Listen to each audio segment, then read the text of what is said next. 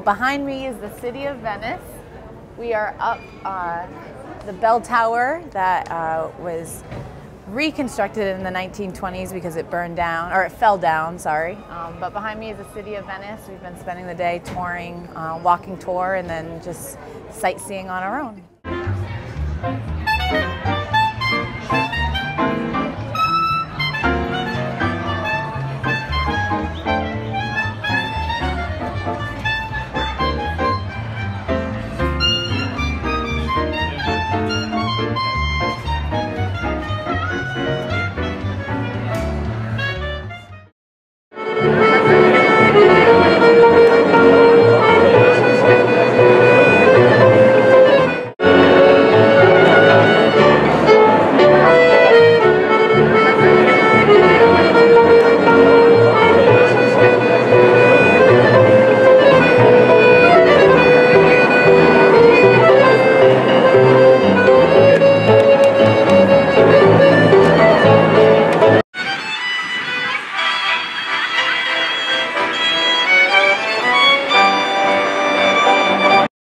I think uh, being this experience is amazing for our kids and for for our, the coaches. Um, as a as a program, we get to bond and do things that we never would be able to do. So it's just a tremendous experience, and I know we're we're really happy and feel fortunate to be a part of it.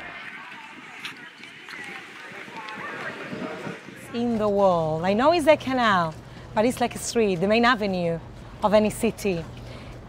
About 200 imposing homes were built along both of the banks of the Grand Canal.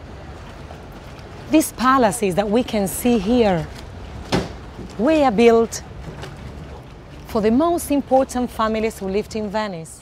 Their power, their money, their achievements. You see? They were really. We only have four bridges. That's the oldest one, okay? 1591 that we will see from a little bit closer in a few moments. We used to have orchards, trees. Venice was a rural city back in the centuries, okay? Not a modern city with old buildings the way we see today. The city was paved. At the very beginning, they used bricks. In the 1700s, the modern slabs with sea.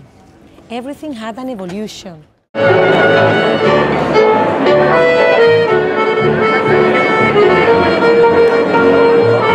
So I hope you enjoyed the tour. And I hope that you still enjoy the rest of your stay in Venice. My favorite part was the gondola ride because it was really nice to be on the water and see all the beautiful architecture of Venice.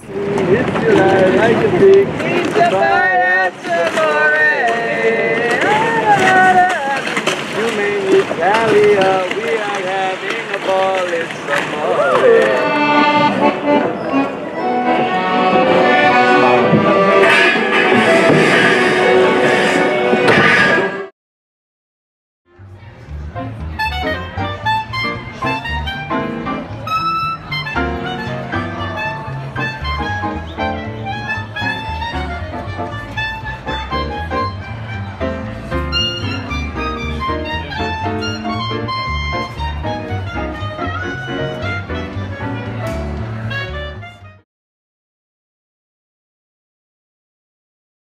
yeah, we made a lot of shots. I felt like um, even though we've been in Venice all day, you know, uh, had a little bit of tired legs, but you know, we came into it like it was an exciting time being here in Italy. Um, and just trying to play and like have fun with it, but trying to stay within what we're trying to do. I feel like we played very relaxed. I feel like this was like kind of like coming back and you know for a lot of us uh, playing European basketball, playing versus European players, like it might have been like we're coming back a little bit more to our comfort zone, maybe what we're used to. Like, we're the best when we um, when we get a lot of assists.